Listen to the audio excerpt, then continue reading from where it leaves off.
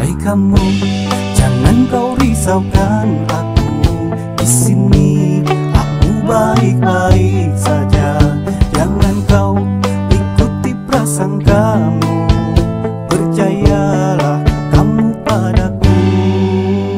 Aku pun selalu percaya kamu dan jaga namaku di hatimu.